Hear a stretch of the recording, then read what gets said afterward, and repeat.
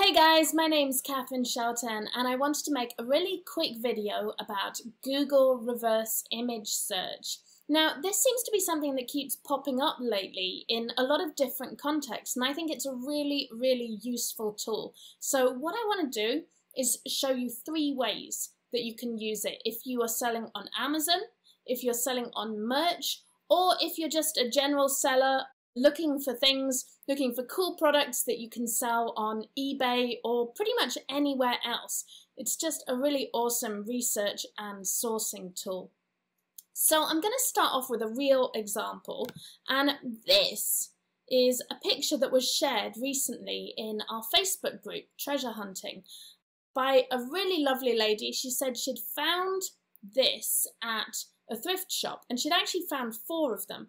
They were gift bags. At first, I didn't even know what it was. I was like, what is this? It's beautiful. And she said it, it's from a gift bag. And she didn't really know anything about it. It didn't really have any words on it or any UPC or identifying information.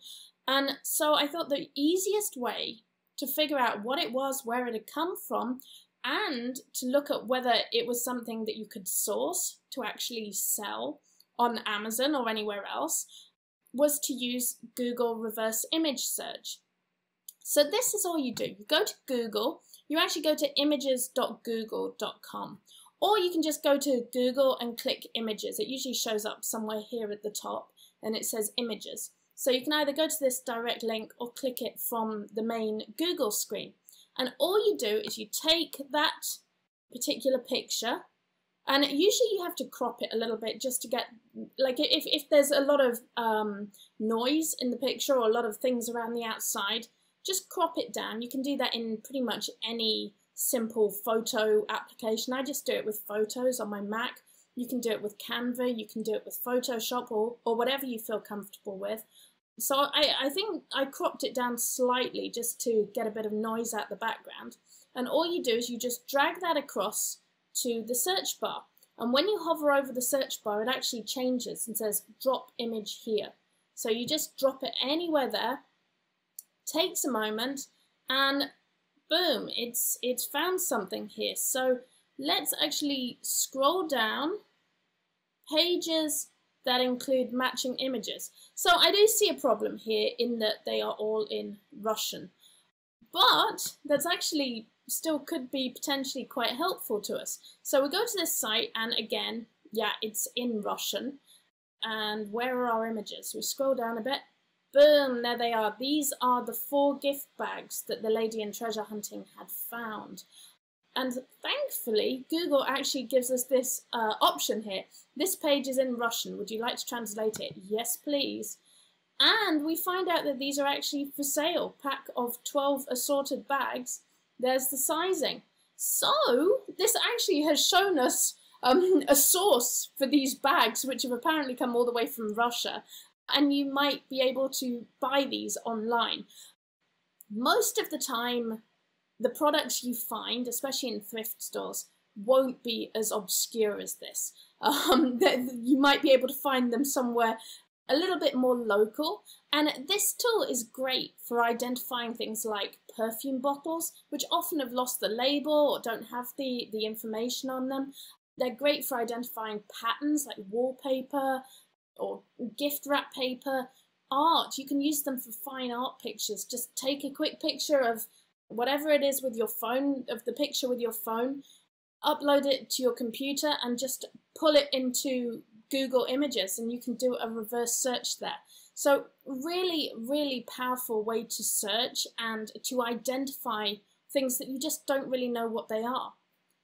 I'm going to show you a second way to use the Google image search and I think Amazon sellers will really like this. Let me go back to the images of Google. Let's go back to that. Okay, so I think this is something that Amazon sellers will really like you can actually use it to figure out sources for any product on Amazon. So for example, I did party bundle and I looked this up. And apologies if this is your bundle. I'm just going to pick the first real bundle that shows up, which is funnily enough this one, Five Nights at Freddy's. And my daughter is a big, big fan of Five Nights at Freddy's. So what I'm going to do is I'm going to click this to bring up the bigger picture. And I'm just interested in these balloons. So if I wanted to find out more about these balloons and where they came from, I can actually screenshot them like that. I just use Command Shift and 4 on my MacBook. Uh, how you do that on a PC might vary. And I'm going back to Google Images. And here's my picture that I took, the screenshot image. And I'm just going to pull that in, drop the image there, and let's see what comes up. Okay, this looks like our balloons. So I can look here, this is the first one, it says best guess, Five Nights at Freddy's Party Supplies. Okay, but I don't see our balloons there. But actually this is kind of useful because this is a website, birthdayexpress.com, and it's showing us some Five Nights at Freddy's party supplies. So we could use this to start putting together our own bundle. Okay, I, and you can get a, a free welcome gift apparently. Awesome. So that's kind of useful. Uh, let's go back and look for something more exact. So there's a lot of Pinterest ideas. There's the actual bundle itself. Okay, let's go to visually similar images and see what we can find there. Okay, this looks like our balloons. In fact, that's pretty much it. So let's click that and see what comes up. Oh, look, it's AliExpress. Wow. Okay, we have just pretty much... Oh, wait, that's the wrong thing there. Let's just cheat it a little bit. Five Nights at Freddy's balloons. And there they are. So you can buy these on AliExpress for $16 for 100 pieces. That's 17 cents a balloon. So you've pretty much reverse engineered this bundle, or at least that part of the bundle. And you can do the same thing again with the bracelets as well. In fact, we can just do that very quickly uh, and see if we can actually track the bracelets as well. So we go back to the Google image search, right there. We're going to drag that screenshot in. There it is. It finds the bundle. And if we hover over these, we can see where these are coming from. DHgate. Boom.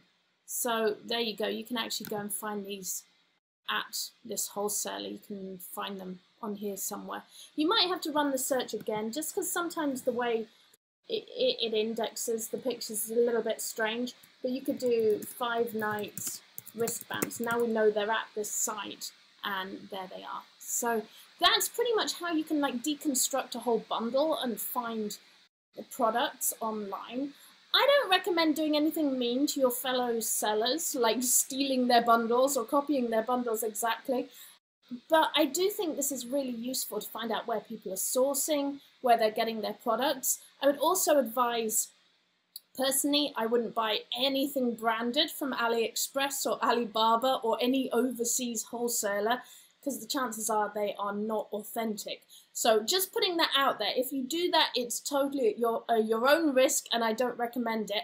But this is a really good example of how you can use uh, Google image search for sourcing and doing a reverse image search on products that you're interested in selling or selling similar things. Okay, so the last use of Google image search I'm going to show you, let's go back to Google image search, the last thing I'm going to show you, this is another way I use it, also with Amazon, um, is for merch shirts. So I had an idea uh, at Halloween. I thought it might be kind of fun to do a shirt with a pug wearing a, a pumpkin.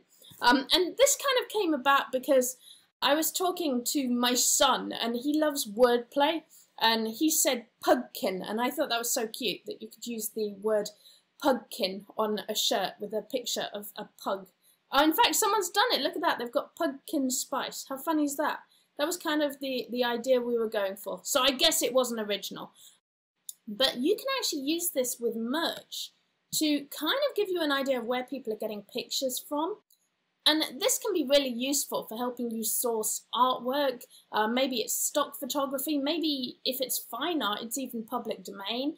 Okay, so we're looking at this t-shirt here and all we need to do to find out a little bit more about this design is we do a quick screenshot and I'm just going to crop out the bit that I think is interesting and I don't want to copy this guy's shirt. This is a cool shirt.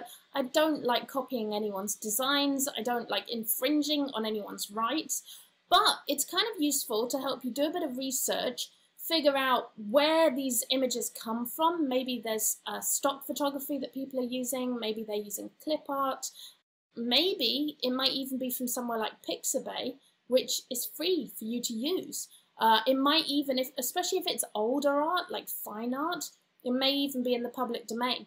So this is kind of an educational way to use Google image research just to, to find out more about any particular design. So I've done a tiny screenshot, that's all you need. I didn't even have to blow it up big. I've got my little screenshot there and I'm going back to Google Images and we're going to drag it across and see what comes up. So Google image search, it does a couple of things. It gives you related ideas, similar ideas. It tells us there's Humphrey Pug Cartoon on Facebook. I'm not going to go trolling around Facebook now, but uh, it's possible that maybe this image came from there or someone posted it on that Facebook site. We can also see that this shirt's actually been done a lot on Sunfrog, uh, on different websites, Redbubble which actually gives us an idea. Maybe we could put our own shirts on some of these sites. So it kind of tells us more about that. We can also click to visually similar images and it gives us a look at all these different pictures of um, things that kind of, in pictures that kind of have some similarities. So there's more sort of animals in pumpkins. I love this little cat or dog, I think it's a cat, in, in a pumpkin there's more pug designs, which kind of could give us an idea for what we want to put on our shirt. Maybe there's a different way of doing it that we haven't envisioned. And of course, here's our actual image. So you can see it looks like this was specifically made as a t-shirt design. So that's really cool to see. It also gives us some su suggested keywords here. Halloween pug cartoon. So this is actually really clever. Google has told us what the picture is. We didn't type that in. Google has come up with that for us. And we could do something really clever like this. We do site uh, pixabay.com. These images are all coming from Pixabay. You see that? And while they're not sort of directly related to our picture, these are all free images that are related to either Halloween or pugs or pumpkins or cartoons. And this has given us a world of new ideas we could use for our shirts.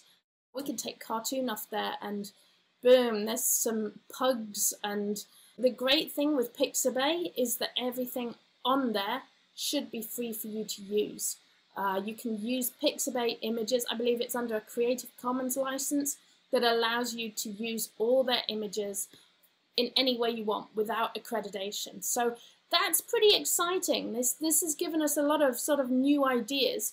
And what you could do is actually take this image or this image and actually um, mash it up using an app like Enlight or Photoshop or Illustrator and mash that up and create your own pug Halloween picture or Christmas pug picture. If you watch my Enlight video, that's also on YouTube, you can see how I did a mashup. I actually used this image and turned the pug into a pug that was actually being abducted by aliens. And I did that using the Enlight app. So cool, I hope this was useful to you. We looked at Google image search there, which is just a really powerful tool. We used it in three ways. We used it first of all to find the source for an unknown product which is awesome if you're a thrifter, a picker, if you're selling things on eBay, it can really quickly help you identify products. Uh, secondly, we used it for Amazon to find sources for products we might want to sell on Amazon or to find similar products uh, that we could sell on Amazon. And we used it for deconstructing and reverse engineering bundles, which is pretty amazing. And thirdly, we used it for merch to show how to find images that are being used on t-shirts to give us some ideas of uh, more types, more photography we can use, more pictures we can use, and to find sources for images and photographs. So I hope that was super helpful to you. Do let me know if you have any questions. If you've enjoyed this video, please come and join us on Facebook. Our group is facebook.com slash groups slash Katharyne Treasure. And that's the Treasure Hunting with Katharyne Facebook group. All right, guys, have a great day. Thanks. Bye.